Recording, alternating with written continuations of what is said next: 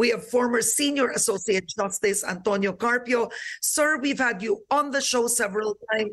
Let's focus just on this issue.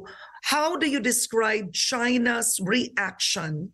Now it seems that the, some have said this is gaslighting, but Rigoberto Tiglao did come up with documents as well proving that China has already brought this up with the late Foreign Affairs Secretary Albert, Albert Del Rosario in the past. So kumbaga, may pinangahawakan ang China na pangako. Go ahead, sir. No, I do not agree with that. There is nothing in that memo that says that the Philippines or any government official made that promise. What Del Rosario said that the Chinese are claiming that the Philippines or some government officials made a promise without stating who these people are. But in that memo, Del Rosario never said that that promise was indeed given by any government official. Del Rosario merely said that this is the claim of China without saying that that's correct or not. He just mentioned that this is the claim of China. And I understand that uh, the people there at that time, uh, I am told by uh, Ambassador Be- uh, Bensurto, that they combed the records of the DFA. They could not find any record of that uh, promise by any govern- Philippine government official. Mm. So you cannot say that we acknowledge that there was such a promise. There was no promise because there is no proof that any government official made a promise. That is the claim. And China has been claiming outlandish things. That they claim that they own the South China Sea since 2,000 years ago, which is totally fictitious. And uh, Undersecretary Malaya has already demanded and challenged China to produce the public any record, any document that they're holding. And besides, the president already said, if there is such an agreement, I rescind that. Mm. Furthermore, no government official can waive sovereign rights. Mm. We have sovereign rights over Ayungin Shoal as declared by the uh, arbitral tribunal. It's called sovereign because that belongs to the Filipino people, the sovereign people. Mm-mm. No government official can waive that. Mm. So, Justice, what do you think now? Why is China moving on to this line of argument? I mean, after so many years, it was never brought up really that the grounding of the BRP Sierra Madre, uh, a promise was made by one of the presidents of this country to remove it. Where are they heading? I mean, clearly there's a, a, a deeper strategy here Well, because now you have the country involved in this particular issue instead of the bigger issue. They're clutching at straws. They're using whatever argument they can use. But these are specious arguments because they will not stand in court. They let them go to a tribunal if they, they claim that they have we made such a promise. Where is the document? Where is the ratification of the uh, Senate? Because any any cession of Philippine sovereign rights requires Senate approval in a treaty. There's Mm. nothing there. Okay. Now, how would you describe? Has there been a change in China's tone when we hear the ambassador speak? Um, in the in the latest um, uh, forum with Wilson Lee, we heard the statement that it was quite clear that China seems to be going frontal about this in our very own country. In other words, they're not speaking from their own country, but already in the Philippines, they're they're quite clear. You mean to say they're uh, they're discussing the issue before the Philippine public? Absolutely, already within the country. Well, uh, it's okay because I think we are uh, our our uh, legal position is very strong. We have the arbitral tribunal. We have UNCLOS.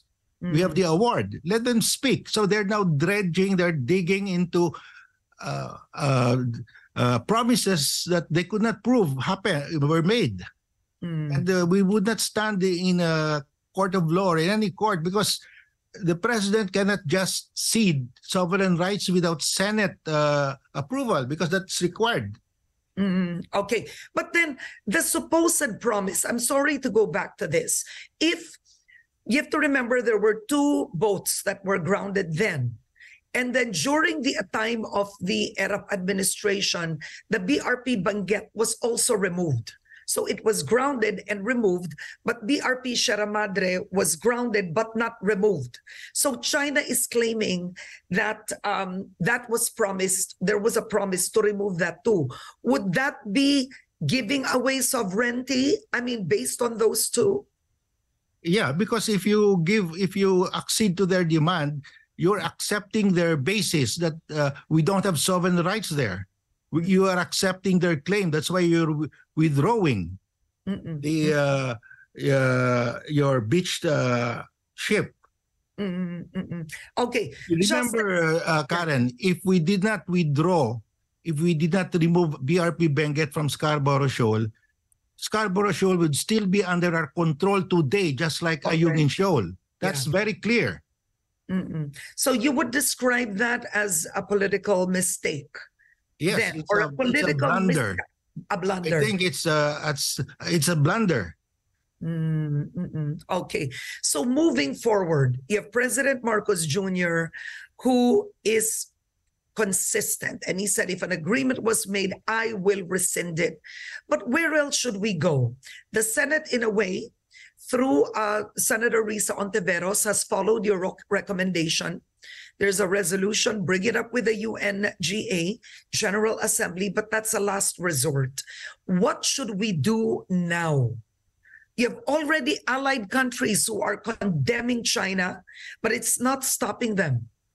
Well, I've I've said it before. The urgent issue now is to get the gas in Reed Bank Mm. because we're running out of gas in Malampaya. And the gas now, energy is going up fast. Mm-mm. Energy costs uh, are going up fast. So we have to send our survey and drilling ship to Reed Bank. To do that, we need to protect the survey ship and drilling ship. And to protect that those ships, we need the Navy to go there and we need joint patrols with the US Mm-mm. uh, at the same time because that is what uh, Malaysia and Indonesia did. Yeah. Mm, all right. Okay. And uh, actually, it's the exploration of the Reed Bank that's still pending now, but there are scheduled joint patrols with the U.S. Yes, you, know, Karen, I think there the Chinese uh, sudden uh, uh, attack on us, the water cannon in Ayungin Shoal, Yeah. is a threat to us that we should not send our survey ships to Reed Bank. I think that is connected. It's for me, it's very clear that they are flexing their muscle now to intimidate us not to send our survey and drilling ship to Reed Bank. Yeah. All right. Do you have an appeal for President Marcos Jr.? Because at the very least, he is taking the same political stand when it comes to the West Philippine Sea as you did, the late Albert Del Rosario did, even the late former President Aquino did. Yes, I think we we have no choice but to get the gas in Reed Bank because our economy will suffer tremendously. Uh, Malampaya supplies 40% of the energy requirement of Luzon. Without Malampaya and without uh, Reed Bank, we will have to import LNG and it's very expensive. I estimate our energy cost in Luzon will go up to by 50%, and that will be devastating to everybody. Mm. On that, that note, will that will fuel inflation tremendously and the, the people the consumers will suffer Mm. On that note, as always, I want to thank you for being on Headstart when it comes to this issue. A former senior associate justice of the Supreme Court, Antonio Carpio. It's always a pleasure, sir. You take care.